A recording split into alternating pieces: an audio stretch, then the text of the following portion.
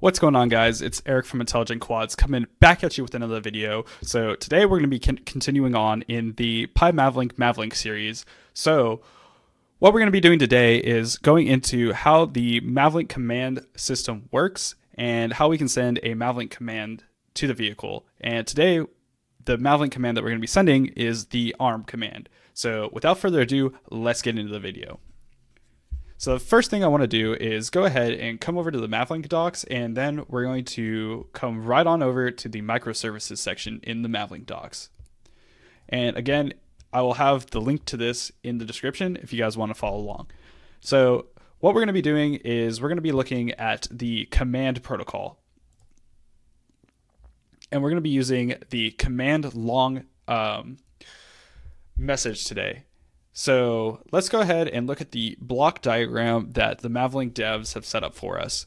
So basically, when you send a command, what happens is the GCS or your program sends the message command long to the drone, and when the drone receives that message, it tries to act upon the command. And then, based off of if that succeeds or fails, it will pack that information into a command acknowledge and send that back to the GCS.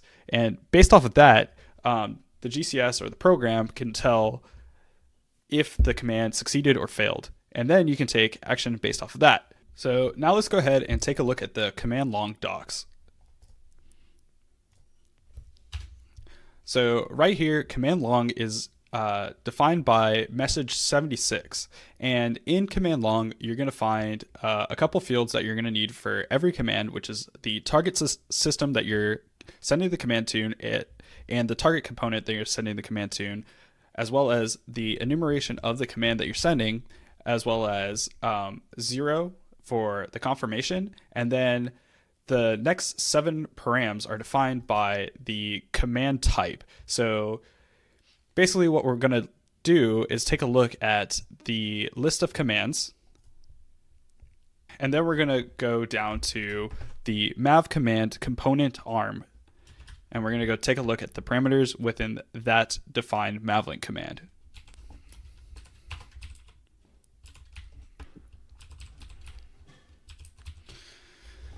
So mav command component arm disarm is message number 400 and based off of this definition what you can see is that in param 1 you're it's going to take uh, a number of either 0 1 0 being disarm and 1 being 1 and then 2 being uh, the second param being uh, force, which for this, we're just going to set to zero and we're just going to use the one zero on param one. Now that we know what command we're sending, let's go ahead and start making our Python program to send this command. So let's go ahead and take one more look at command long, and then we're going to go ahead and open up our text editor.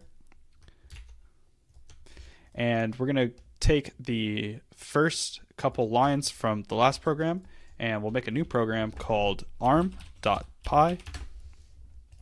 And we'll go ahead and paste those right on in there. So what we're going to be doing is once we get the heartbeat from the vehicle, we're going to be sending our command long uh, to that connection. So let's go ahead and write the connection uh, dot mav, and then we'll use dot command long underscore send. And in this, we're going to fill it with the um, parameters, the connection dot target system.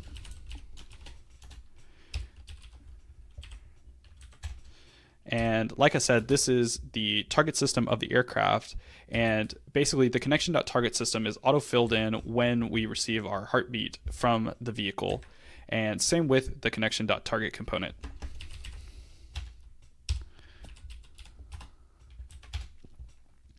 And then um, if we go ahead and take a look at the long command format again, we have target system component, and now we're going to be putting the uh, enumeration of the command that we're going to be sending.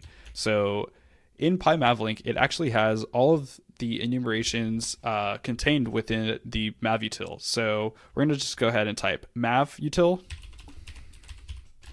and then we're going to put dot mavlink, and then we're going to put dot mav underscore command uh, underscore component and then arm disarm. And basically, what that's going to do is it's going to access the enumeration, which is 400, and fill it in to the message that we're going to be sending.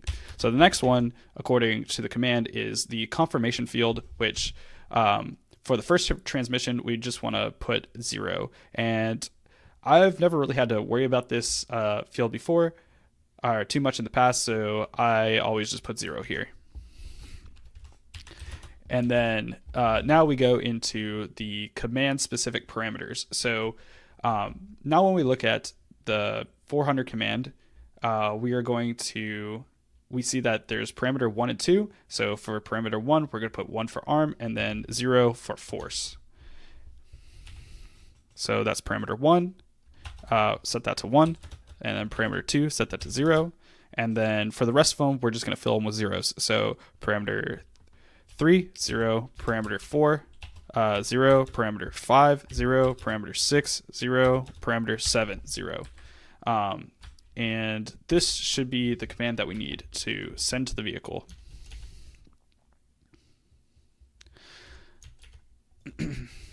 so let's go ahead and test our pro program real quick. So let's go ahead and type python 3 and then arm.py.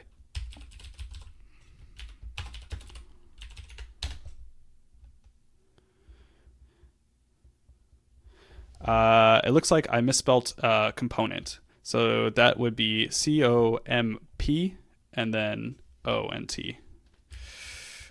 Compo- component. And now let's try this again.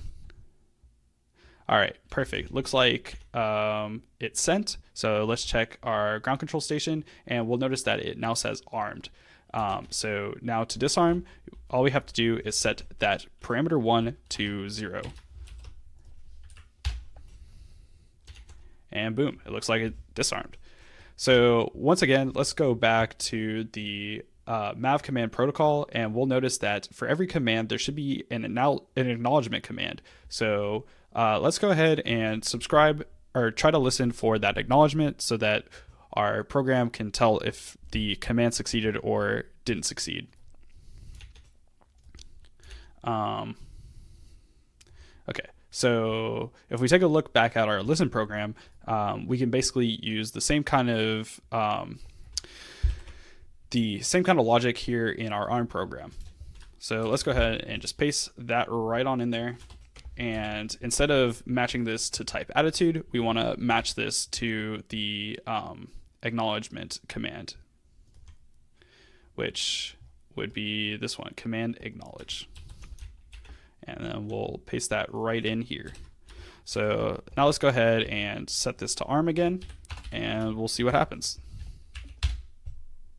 So it looks like we got the command acknowledge and uh, it has all these fields um, within it. So before we end this video, let's go ahead and take a look at what all the fields within the command acknowledge means.